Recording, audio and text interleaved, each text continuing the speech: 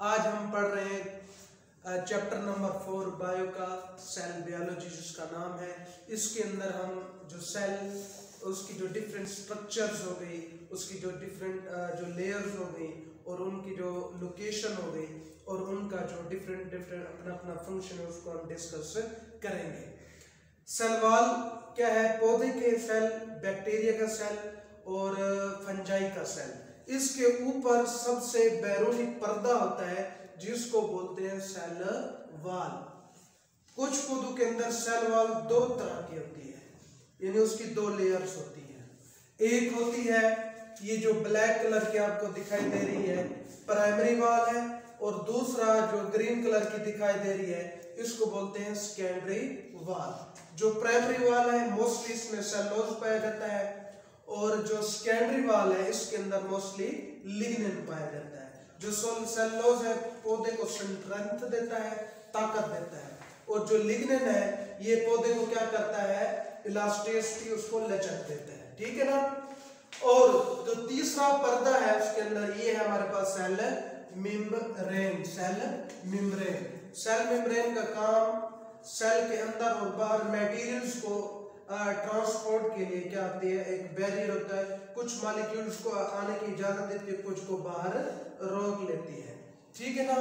एक स्ट्रक्चर है plasmodesmata plasmodesmata का काम क्या है प्लाज्मोडेस्मेटा प्लाज्मोडेस्मेटा हमारे पास सेल वॉल के अंदर छोटे छोटे सुराख होते हैं। जिसके ज़रिए जब मुख्तलिफ़ सेल्स का क्लस्टर्स होता है तो इन सेल्स के जो साइटोप्लाज्म है, वो आपस में क्या होता है? ज्वाइन होता है। वो आपस में क्या होता है? मिला हुआ होता है ज्वाइन होता है। ठीक है ना?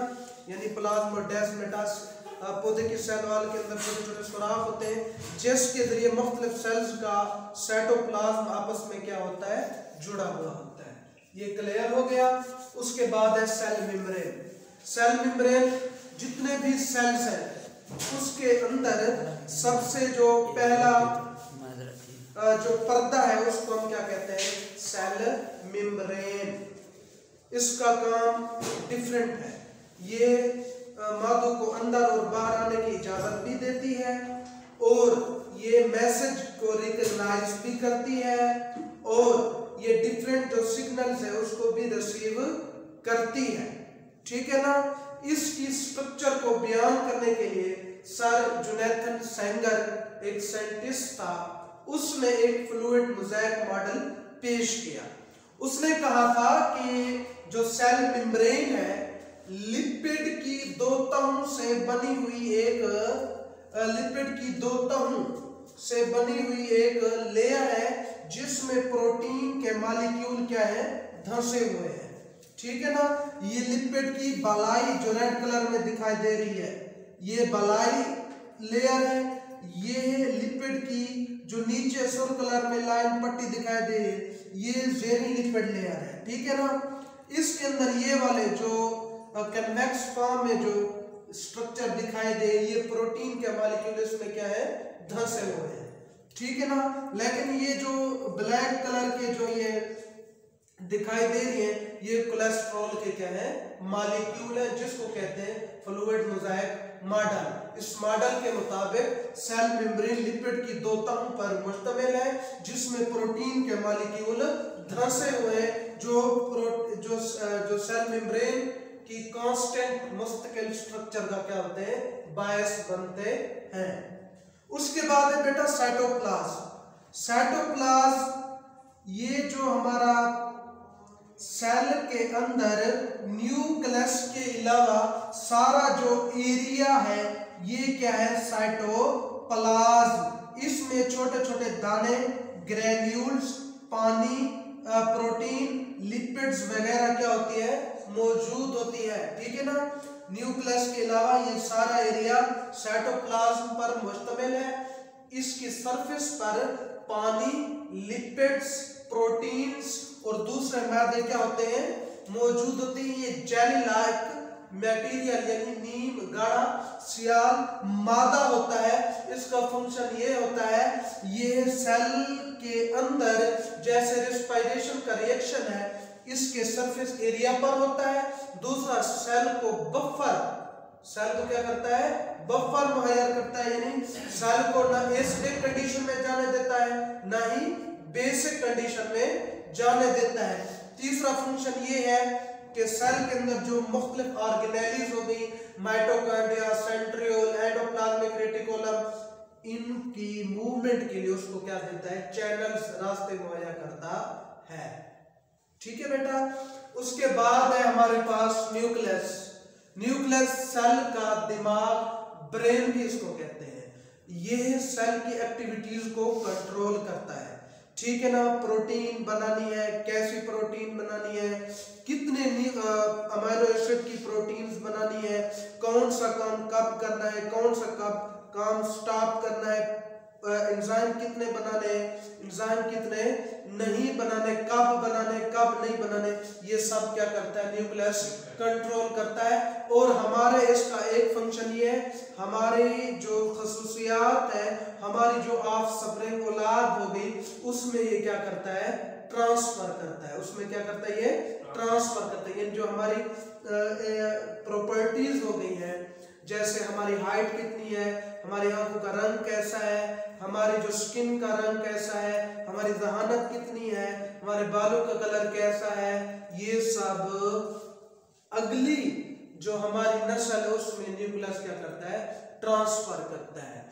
ये सेल पौधे के सेल में तो ये दरमियान में बड़ा वैक्यूल के एक्सपैंड होने की वजह से ये क्या होता है? साइड पर होता है, लेकिन जानवर के सेल के बिल्कुल सेंटर में जो है ये क्या होता है? मौजूद होता है। ठीक है बेटा? ये जो न्यूक्लियस है, इसका सबसे ऊपर वाला जो पर्दा है, उसको न्यूक्लियर इनविलप भी कहते हैं या न्यूक्लियर मेम्ब्रेन भी कहते हैं।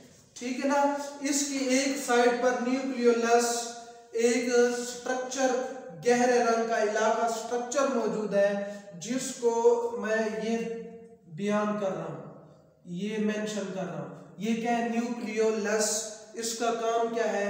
रेबोसोम बनाने के लिए ये क्या करता है? रेबोसोमल आरएनए को क्या करता है? ट्रांसपोर्ट यहाँ से करता है। ठीक है ना? और आ, ये जो हमारा न्यूक्लियस है इसके अंदर क्या होता है? क्रोमोसोम क्रोमोसोम के अंदर मेनली हमारा क्या होता है? डीएनए और प्रोटीन्स होती है। स्टोन प्रोटीन्स हो गई और डीएनए हो गया। डीएनए के अंदर छोटे छोटे टुकड़े होते हैं। जीन्स के जो हर खसूसियात को क्या करते हैं? कंट्रोल करते हैं।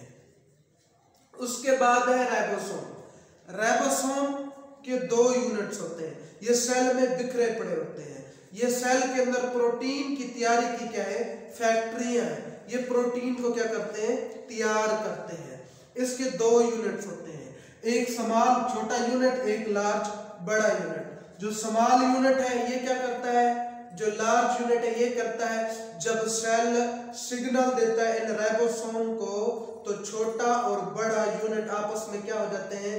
मिल जाते हैं। न्यूक्लियस से एक मैसेज आता है मैसेंजर आरएनए की सूरत में। वो यहाँ से मैसेज क्या करता है? गुजरता है तो क्या होती है? प्रोटीन क्या होती है? हमारे पास तैयार होती है। ठीक है ना? उसके बाद है हमारे पास माइटोकॉन्ड्रिया। माइटोकॉन्ड्रिया क्या है? ये सेल के अंदर एनर्जी पैदा करने वाला घर है। The power house of the cell which is produce the energy by respiration ठीक है ना? ये उसकी बैरूनी तह तो हमवार होती है लेकिन ये जो अंदरूनी तह है या उंगली नुमा उभार होते हैं जिस हर उभार को बोलते हैं क्रिस्टा या क्रिस्टी भी इन सारों को क्रिस्टी कहते हैं एक को हम कहते हैं क्रिस्टा। ठीक है ना? और इस पूरे शय को कहते हैं मैट्रिक्स। इस पूरी चीज़ को हम क्या कहते हैं? मैट्रिक्स कहते हैं। ठीक है ना? यहाँ पर हमारे पास जो ग्लूकोज होता है जब उसकी रिस्पायरेशन होती है तो ग्लूकोज टूटकर एटीपी बनाता है, जो हम अपनी ग्रोथ देखने के लिए, चलने के लिए या भागने के लिए, काम करने के लिए उसको इस्तेमाल करते हैं। और तीसरा है हमारा पास प्लास्टिड। ये पौधों के अंदर है, पौधों के सेल के अंदर होता है, जानवर के सेल के अंदर नहीं होता। इसका काम क्या होता है? पहले इसकी बनावट क्या होती है? ये एक पैरामिड जैसे मुसलस नहीं होती? इस तरह की एक स्ट्रक्चर है उसको इसकी तीन टाइप्स होती हैं। क्रोमोप्लास्ट लिकोप्लास्ट और क्लोरोप्लास्ट पहले हम क्लोरोप्लास्ट को डिस्कस कर लेते हैं। क्लोरोप्लास्ट क्या है? ये थेलाक्वाइड इसके अंदर ये एक जो सिक्का पड़ा है, इसको थेलाकाइड बोलते हैं। पूरी इस लाइन को बोलते हैं ग्रेना एक सिक्के जैसे दस सिक्के को एक दूसरे के ऊपर रखते रहो। एक सिक्का थेलाकाइड हो गया, ठीक है ना? और पूरा जो ढेर हो गया सिक्कों का, उसको ग्रेनम बोलते हैं। इन दो ग्रेनम के दरमियान जो डिस्टेंस है, इसको बोलते हैं इंटर ग्रेनम और ये जो व्हाइट कलर का सारा पड़ा है, इसको बोलते हैं सट्रोमा इसको क्या बोलते हैं? स्ट्रोमा बोलते हैं। और नेक्स्ट हमारे पास है एंडोप्लाज्मिक रेटिकोलम एंडोप्लाज्मिक रेटिकोलम जो हमारी जो न्यूक्लियस होता है सेल मेम्ब्रेन से न्यूक्लियस तक फैली हुई साख्तें होती हैं।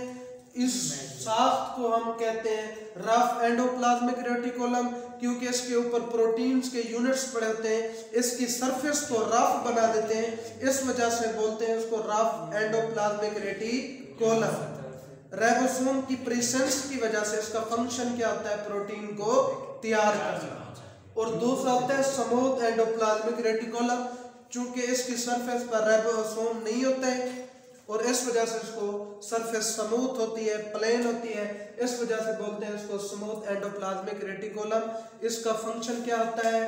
लिपिड को तैयार करना, और जो कोई जहरीली चीज़ हमारे जिस्म के अंदर चली जाए, या सेल के अंदर इंटर हो जाए, उसको गैर जहरीला बना देना, या अनडिटॉक्सिफाई कर देना। स्मूथ एंडोप्लाज्मिक रेटिकुलम का काम है। और थर्ड है हमारे पास गॉल्जी कम्प्लेक्स केमेलो गॉल्जी एक फिजिशियन था उसने। Golgi complex Golgi apparatus Golgi bodies इसके तीन नाम है। गॉल्जी कम्प्लेक्स गॉल्जी अपरेटस और गॉल्जी बॉडी इसके तीन नाम है। ठीक है ना? ये क्या करता है? ये सेल के अंदर पैकिंग करता है, यानी मुख्तलिफ़ जो वेस्ट हो गया, उसको पैक करके सेल के बाहर धकेलता है।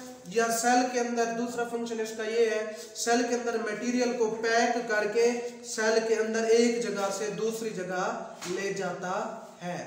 जो सेल के अंदर वेस्ट बनता है, उसको पैक करके सेल से बाहर एक्सपेल करना और दूसरा फ़ंक्शन इसका ये होता है कि सेल के अंदर जो मुख्तलिफ़ इम्पोर्टेंट मटेरियल होता है उसको पैक करके सेल के अंदर एक कोने से दूसरे कोने एक जगह से दूसरी जगह ले जाना है। बस टफ लक आपने ये मेरा लेक्चर पसंद किया होगा।